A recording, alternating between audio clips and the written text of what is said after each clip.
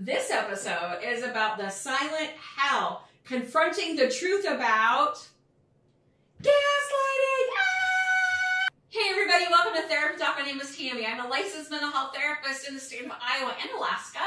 And Pauline and I, um, we try to do videos that, that destigmatize mental health, or we are here to educate you on some mental health issues. So in this series, we are taking the idol and we are dissecting it and we are uh, applying real life terms to the situations that we're seeing on the idol. In this episode, in episode three, we are seeing a lot of gaslighting. That's what we're going to talk about today.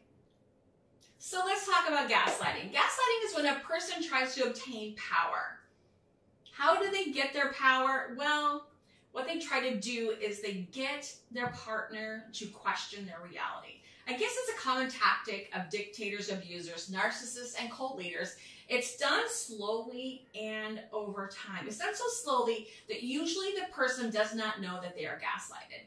The term comes from a movie back in 1944 called Gaslight. In the movie, a man manipulates her to the point where she feels like she is going crazy. Um, so the question is, how does one become a gaslighter? Great question. So it's not something that you just have in your genes. Many people are gaslighters because they witness it, they witness being gaslighted, or they, I mean, they experience being gaslighted, or they witness it. I don't think gaslighters just wake up one day, I want to be a gaslighter today, yes! No, they don't do that. Sometimes it's children growing up in situations where they're seeing their their um, caregivers gaslight each other. Sometimes it's childhood trauma combined with a personality disorder. Gaslighting can also be called psychological bullying. That's a term I haven't heard of until I started researching this. Did you know that? So in the show The Idol, episode three, I feel like this episode totally screams sexual gaslighting. If you've watched it, let me know what you think. Let me know in the comments. But let's talk about some sexual gaslighting. It's a lot like regular gaslighting, so let's talk about regular gaslighting first. One, blatant lies. You know it's a lie, but they keep telling the lie. They lie to your face, and they deny that they're lying. Mm, this is really true of narcissists too. They become highly absorbed to themselves. They really love themselves. They pat themselves on the back and they really look down on other people because they really do think that they are better than everybody else. Point two, they take what's important to you and that's the first thing that they go after as ammunition. They do that to get what they want. So let's use idol for instance, because that's what we're talking about today. Tedros often suggests um, Jocelyn that he is helping with her music. He does this often by making her second guess herself, her choices, her decisions, her wishes on where she wants to take the record label in her songs. Tedros is using her music, putting down her music and getting her to the point where she allows him creative control of her music.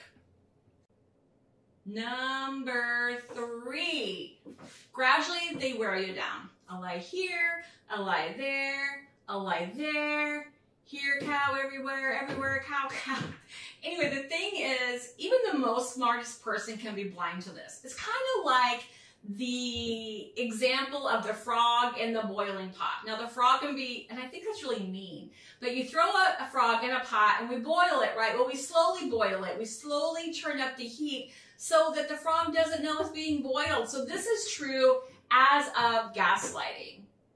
I think of an example of this with the show, not using frogs, but the show is that he takes her shopping. And what girl wouldn't, well, nobody, who would not want to be taken shopping with somebody else's money? And at first glance, we think it's a sweet gesture, but he's picking out all her clothes. And Jocelyn's friend, her assistant, sees that he's manipulating her, but Jocelyn does not see that she's being manipulated.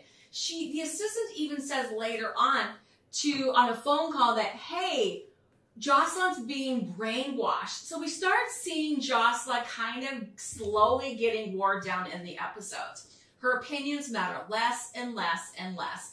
And we see this through the entire episode. For me, it was so painful to watch and so sad. So I'm afraid that Jocelyn is the frog in the pot. Jump, Jocelyn! Jump! Get out of the boiling water now!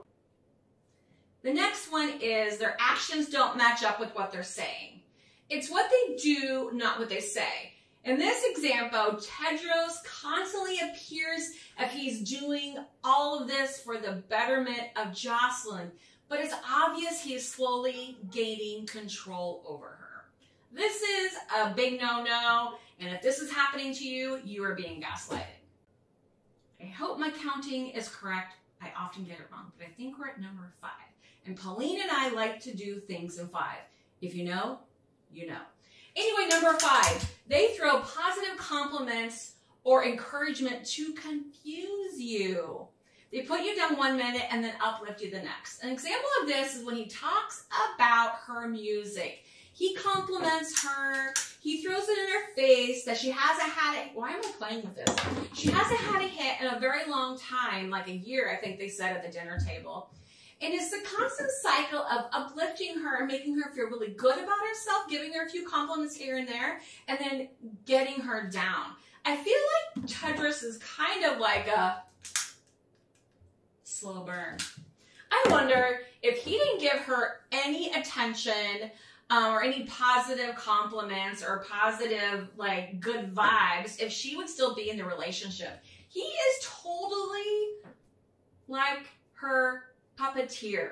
I hate it. Number six, on number six. They project.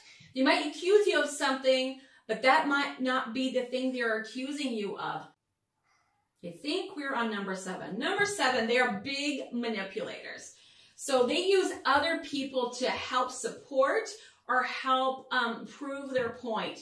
They will make it a point and be like, see, this other person likes this too, or this person says this about you too, or this person knows you're wrong too, something like that. They, they're all eating in this episode and they're at this big table and Tedros uses the help of the creative director to bring home a point about a photo, which was covered in episode one as the album cover. Tedros uses the help from the creative director to get what he wants. It's very manipulative. He wants Jocelyn to change her image into something that she really doesn't want. Now she's outnumbered. She's around this big table and her um, her, her creative assistant and Tedros is really talking her about this. And she is starting to be assertive with herself. She even says to Tedros, don't be rude, which, yes, yes, Jocelyn, please do that. But he is insisting and he keeps putting, um, pushing the envelope to have his ideas become Jocelyn's ideas. Number eight, ah, ah, ah, they tell you that the other people are the crazy ones. A gaslighter knows if you start to question your own sanity or motives, that you will second guess yourself and question yourself, and therefore you're not going to be gaslighted, right? Um, it's all about making you feel crazy. At the same dinner party, she is not comfortable putting that photo on the cover. She says that she's not ready. She keeps saying that she's not ready. And she says, I, I'm sorry for the term, but quote, I'm not going to be called Jizz Rag Jocelyn again. Mm. Tedros says, who cares, man? And then she says, it's humiliating and it just makes me feel bad about myself. She wants to be taken seriously and she says this to Tedros, but Tedros will not drop it. He is questioning her reason for not wanting to put that discriminating photo out there to sell her work when she's like, I don't feel good about it. This doesn't feel good. I don't want to do this. And she, she is just start you starting to see her wear down like i said earlier. In this episode you really start to see jocelyn wear down with all this manipulation and gaslighting. Tedros doesn't like it when she when she kind of stands up for herself which i said earlier. And he then is just like he's on her about it Earlier, we see them in the dressing room when they're having sex in the dressing room, and she asks him not to finish inside her. So we see our girl Jocelyn. She can stand up for herself. She's very strong, and independent woman and Tedros just still continues to break her down. And you can, again, you can see this in her facial expressions. It's just really sad. We are at number nine. Number nine, they try to convince you that others are telling you a lie. Then it makes them feel like they have the correct info. Ugh. And now they are the person with all the answers, and then you tend to listen to them and not listen to the other people. It's just really, really mixed up. So Tedros does this when Jocelyn is having a family friend look at her tummy. And they say that the probiotics are working well for her, and this guy's touching her stomach. Tedros doesn't like what this guy is doing, and he tries to convince Jocelyn that she does not need this guy, even though she hired this guy and it's been like a family friend forever he tries to fire him and said Jocelyn um, and kind of overstep Jocelyn. And Tedros strongly encourages Jocelyn later to fire him. And although you can see that she is not comfortable with this, the way he looks at her and his demeanor and his power, he convinced her to fire him. Now Tedros is making decisions for Jocelyn. Number 10, it is a form of brainwashing. We see this in the next episode when John, was Jocelyn's assistant, and we talked about this earlier, when she is calling the guy and saying, hey, Tedros is brainwashing Joss. I just wanted to, to follow up with that one again. So here is what sexual gaslighting can look like. Sexual gaslighting is about power. It's about control. It's a lot of one person controlling the other person sexually by means of manipulation. The one doing the gaslighting tries to get their victim to doubt their own sexual reality. It's very manipulative.